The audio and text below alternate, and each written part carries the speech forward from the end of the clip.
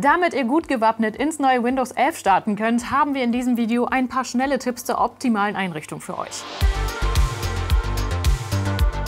WD Black Performance Storage, purpose built for gaming. Drive your game. Den Anfang macht der Standardbrowser. Jetzt denkt ihr bestimmt, Moment mal, das ist doch ein Klick. Warum erklärt die mir das? Und ja, in Windows 10 war das Thema mit einem Tastendruck erledigt. Nicht aber bei Windows 11. Denn statt einem Klick gibt es hier eine Klickorgie. Mal angenommen, ihr habt euch Google Chrome runtergeladen. Nach erstmaligem Öffnen werdet ihr gefragt, ob ihr Chrome zu eurem Standardbrowser machen wollt. Wenn ihr nun auf Festlegen klickt, werdet ihr in den Bereich Standard-Apps weitergeleitet und es beginnt eine viel zu mühsam gestaltete Arbeit, bei der man einfach nur den Kopf schütteln kann. Denn nachdem ihr Chrome aus der App-Liste rausgesucht habt, müsst ihr für jeden einzelnen der elf Dateitypen Chrome als Standard festlegen. Nur wenn man bei jedem Eintrag manuell die Standard-App geändert hat, akzeptiert Windows 11 einen anderen Browser als Microsoft Edge als neuen Standard. Eingehende Benachrichtigungen können richtig auf die Nerven gehen.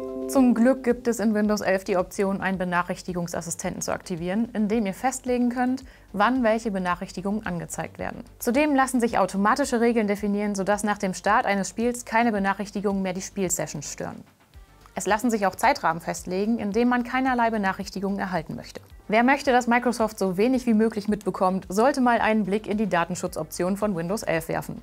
In der Einstellungs-App könnt ihr unter den Windows-Benachrichtigungen einstellen, welche Daten Microsoft erheben darf. Wichtig ist hier der Bereich Diagnose und Feedback, in dem ihr euch Diagnosedaten anschauen und direkt löschen könnt. Von hier aus kommt ihr auch ins Datenschutz-Dashboard, in dem ihr sehen könnt, welche Nutzerdaten Microsoft zu diesem Microsoft-Konto gesammelt hat und seid in der Lage, diese zu löschen. Laut Microsoft sind bestimmte Telemetriedaten notwendig, um etwa Windows-Updates einspielen zu können. Falls ihr diese Telemetriedaten nicht freigeben wollt, müsst ihr zu externer Software greifen. In den Datenschutzoptionen in der Einstellungs-App könnt ihr zudem die Berechtigungen der installierten Apps verwalten. So lässt sich beispielsweise im Punkt Position der Standortzugriff einzelner Apps oder im Punkt Kamera der Zugriff auf eure Kamera verwalten. Mit Windows 11 kommt auch ein neues Feature namens Focus Assistent. Hier lassen sich mit den Focus Sessions individuelle Timer erstellen, wie lange man ungestört am PC arbeiten möchte. Ein weiterer hilfreicher Tipp findet sich in diesem Zusammenhang in den erweiterten Optionen im Bereich Windows Update. Hier lässt sich unter anderem definieren, dass Apps automatisch neu gestartet werden sollen. Falls man diesen Punkt aktiviert, werden nach jedem Neustart des PCs automatisch einige der zuletzt geöffneten Programme wieder geöffnet.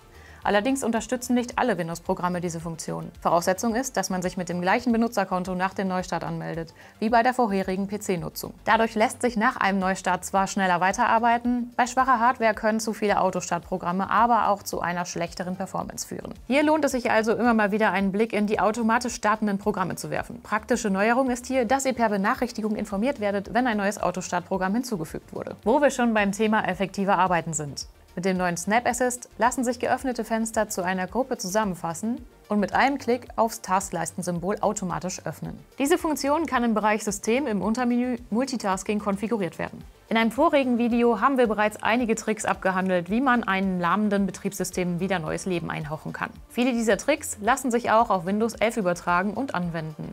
Ein wichtiger Punkt sind die Animationen, die in Windows 11 mehr und aufwendiger geworden sind. In den Einstellungen unter Animationseffekten lassen sich die Effekte einzeln deaktivieren. Das lohnt sich vor allem auf Hardware-Krücken. Das war es auch schon mit den Tuning-Tipps für Windows 11. Habt ihr Lust auf mehr Videos zu Windows 11? Schreibt es uns gerne in die Kommentare. Ansonsten noch eine schöne Woche und bis zum nächsten Mal.